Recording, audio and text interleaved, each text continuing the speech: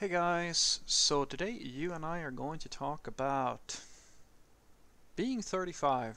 So let's get into it. So the question in question was, Fredrik, I am 35 years old. I've been a software developer for 8 years, but I'm still not a manager. Should I be concerned for my career? No. Well, I suppose depends on your skill level and your seniority and stuff like that. But I don't. You don't have to be a manager to have a a fruitful and stable career in software development. I know that's a very popular opinion, and to a point, I suppose that it is true because uh, at some point you will not be able to progress your uh, your position within a IT company without going into a management management type of role at the very least. You don't have to be a people person per se, but you mean a team lead or being a uh, architect or something like that becomes a very natural thing for you, especially when you're getting uh, to be uh, like a lead. Like, um, 35 is still. I would say the 35 is like. I mean, you can of course be a manager quicker than that, but uh, honestly, uh, I think that now you if you've been doing this for for quite a few years now now you're getting like sort of to the age where you're able to do it well. Honestly i know that there is this kind of hype around getting someone who is like their mid 20s or uh, late uh, 20s into a management position but honestly it's really like sometimes it works out but guys in many cases it doesn't. You have no idea how many uh, people that go in, that go into management way before they should. I mean, it's I mean they get the experience and so forth, but uh, that's usually how it goes. The higher up the chain you go, the more damage you can do. And I've seen some, I've seen some people who were very clearly unfit to manage fuck up things worse than you can possibly imagine. Because of their position their way their words weigh hev- uh, way heavier because of convention rather than anything else. And then they might actually make this they they and they will make decisions that are really shitty. And as true the true sociopaths that they are they don't care. Or they're too arrogant to see that their their decisions aren't panning out all that well. You know live and learn right doesn't matter if uh, it fucks up the entire company or if it uh, does the thing that I hate the most, which is to slow down effective work processes because they had, uh, I mean, managers have, just as software developers have philosophers and geniuses to try out uh, who who uh, try to reinvent the wheel. You have managers who do the same thing, or managers who believe that they they know better.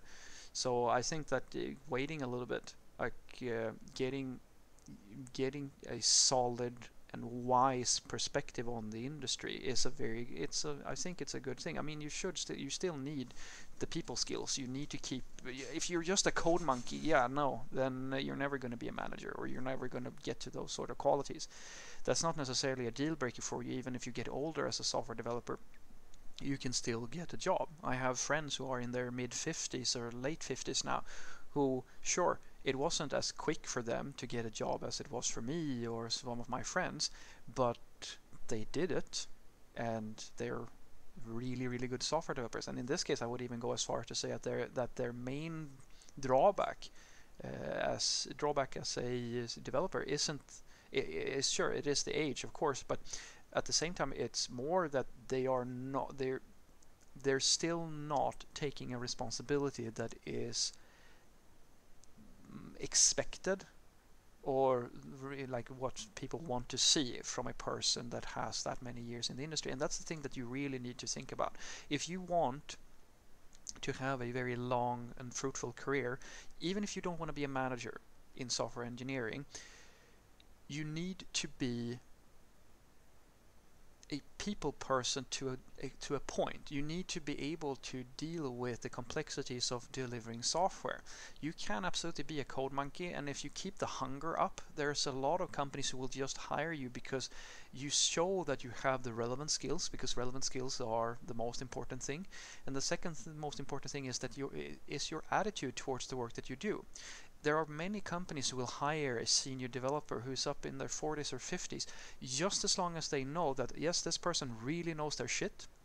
They know the stuff that we are do like that we need. And the second thing is that they're gonna be, they're gonna fit in here. They're gonna be a good office fit here. I've seen guys who are in their in their early 50s go in and uh, start working together with people who are in their mid 20s so it's not like it's a just because you're getting a little bit older that doesn't mean that you're out out of the game. You get out of the game if you let your age get in the way of all the things that actually matter. The age only matters if you very clearly because it's a prejudice, just as a prejudice against race or gender or whatever.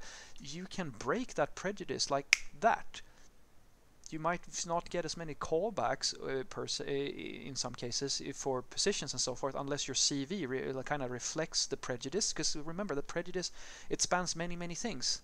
It's the older you get the more experienced you should be right? So if you don't have any experience then the CV is going to look kind of weird right? Because you're this old and you don't know all these things. There's all these subjective per- perspectives on what you should be and what you should have known by this age and that so and so forth and your attitude. And if you do actually meet people who are willing to just go, you know what, let's just see what this person is about.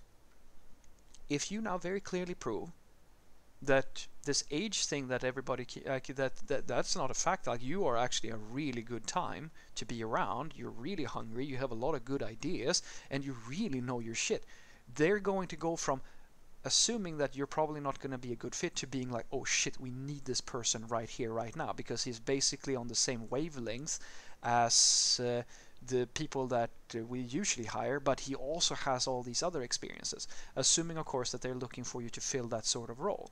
Uh, and if you can do that, no, I don't think that you need to be concerned for your career. It's going to be a really good one.